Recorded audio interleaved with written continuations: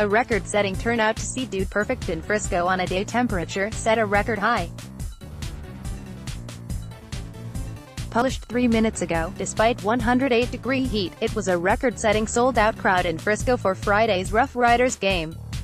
Officials say 12,067 people packed into Dr. Pepper Ballpark but baseball was just one of the main attractions. Fans lined up hours before gates opened for their chance to meet the group Dude Perfect.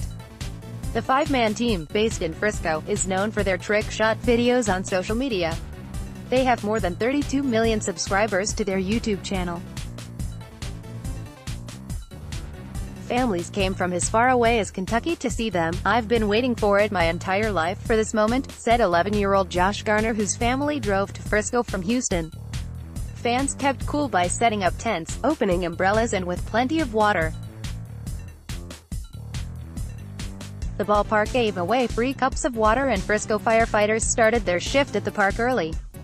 The first 1,000 people in line were able to meet a Dude Perfect one-on-one. -on -one. Everyone else still had the chance to see them in action when they performed during innings.